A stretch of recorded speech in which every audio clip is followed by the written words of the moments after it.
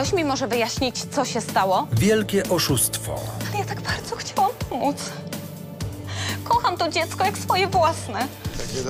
Co dzieje się z komendantem Witackim? Wtedy... Tak, tak, Juliusz, tak, słucham cię. Nie przysłasz tu sprzątaczki? Tu?